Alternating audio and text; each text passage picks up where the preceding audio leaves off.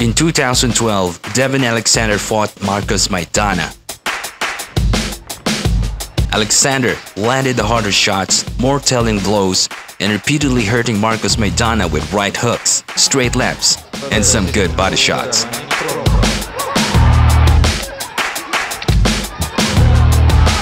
It's clear that Maidana couldn't adjust. He looked slow against the southpaw.